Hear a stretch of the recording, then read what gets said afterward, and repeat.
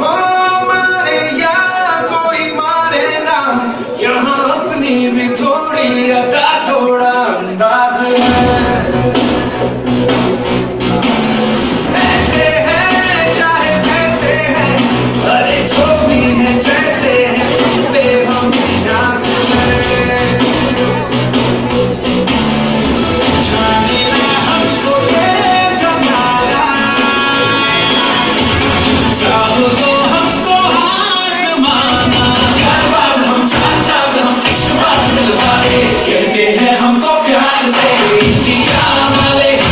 दिन के हार से इंडिया वाले छिले हार से इंडिया वाले